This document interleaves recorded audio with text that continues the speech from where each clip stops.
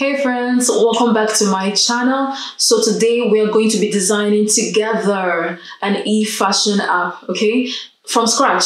And I will also be giving you pointers on how to improve your UI design skills. Plus, plus, you will be getting a free Figma file at the end of this video. So guys, let's just get into it, okay?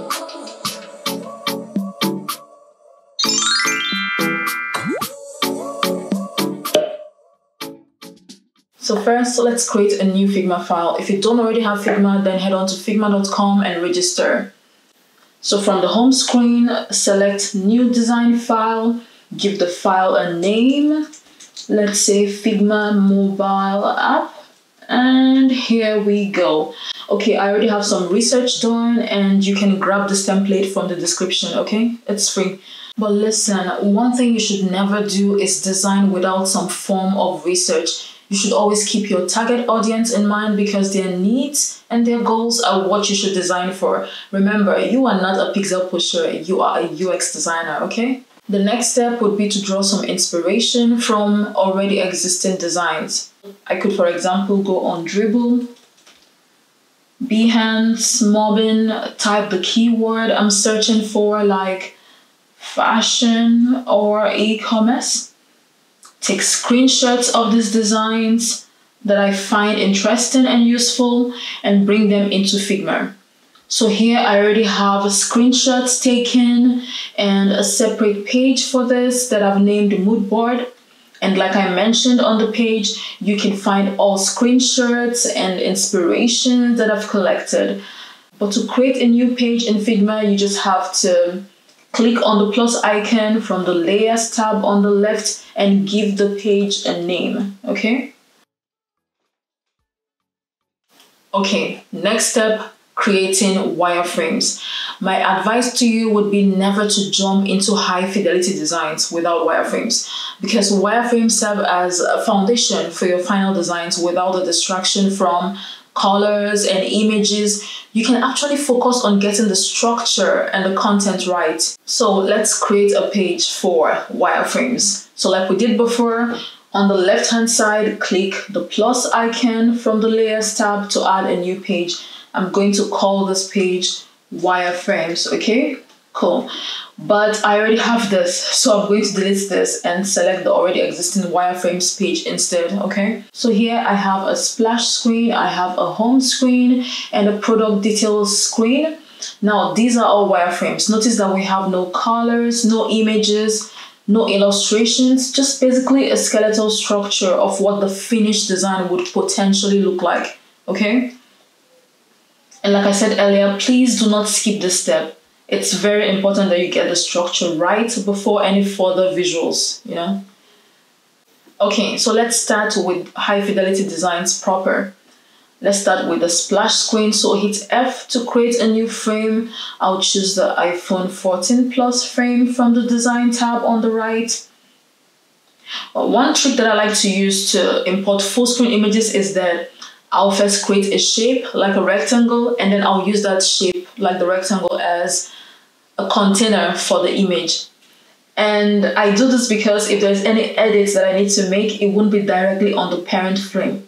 You know what I mean? So click on the rectangle from the toolbar, go to the design tab on the right, click on fill, change the fill to image, then click on choose image and import your image.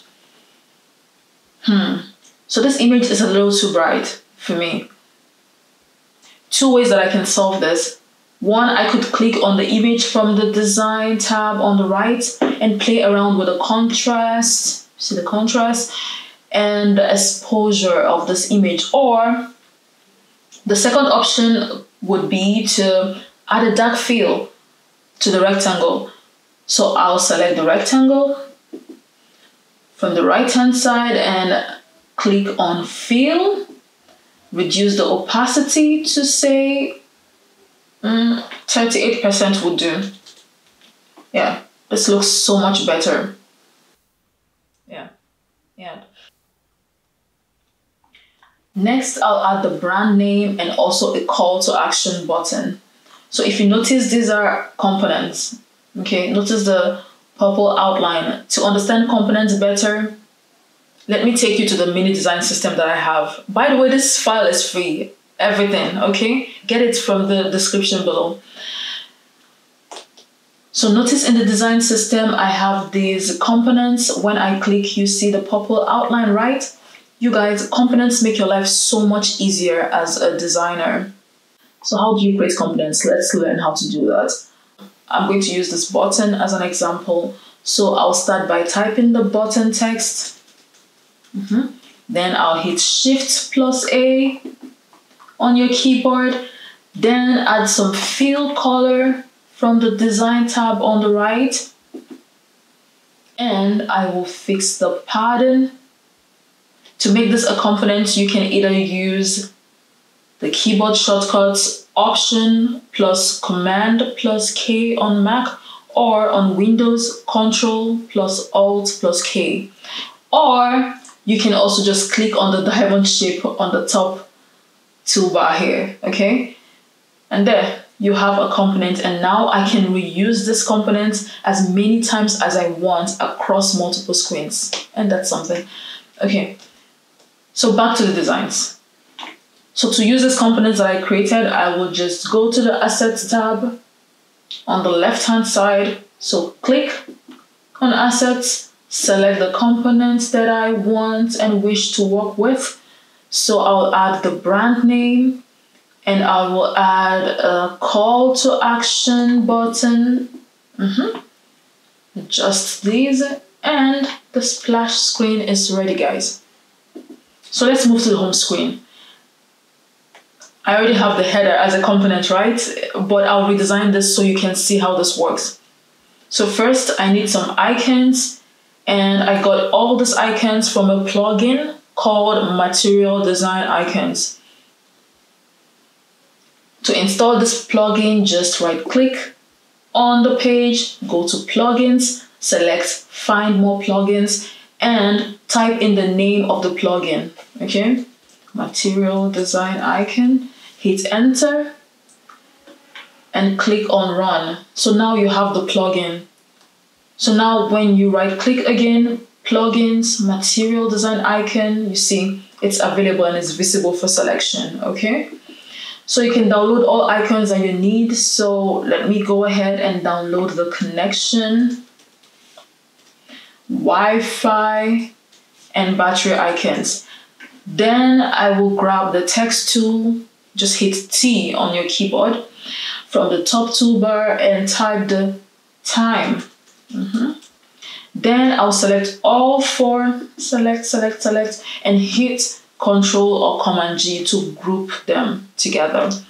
And if I wanted to make this into a component like I showed you before, I'll just hit Control Alt K on Windows or Option Command K on Mac. Okay, you get the drill. So I'm going to go ahead and grab the already created header component from the Assets tab. I will hit O on the keyboard to grab a circle and Control or Command D to duplicate this as many times as I want. Let me check the spacing between each object, you guys. Okay, so to make sure there is some consistency, like in terms of spacing, what you can do is you can just like select the object, click on Alt if you're using a Windows or Option on a Mac, and then you can see the spacing between these items. You see what I mean? Mm-hmm.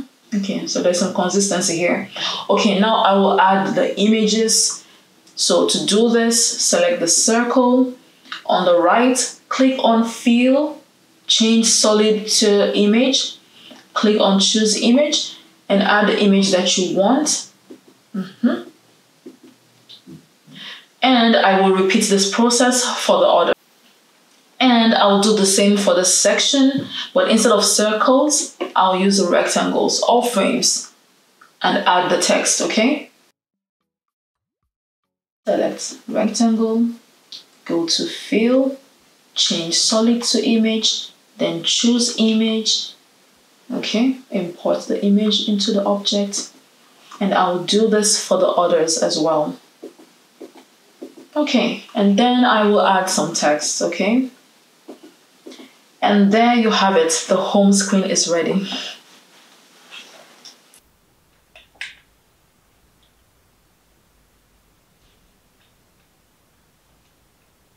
So I'll leave the product details screen as an assignment and I want you to create this on your own and submit, okay? Remember, practice makes you better. So just put your own styles, colors, images, you know, just style it how you want. And I will be reviewing this and all your submissions in another video. So that's it for today, guys. Thank you so much for watching. Please like this video. Please leave a comment please subscribe so I can bring you amazing content every single week, you guys. You can also check out my merch and you can also visit my website designfoundry.info to stay up to date on all information. Thank you so much and I'll see you in the next one. Cheers.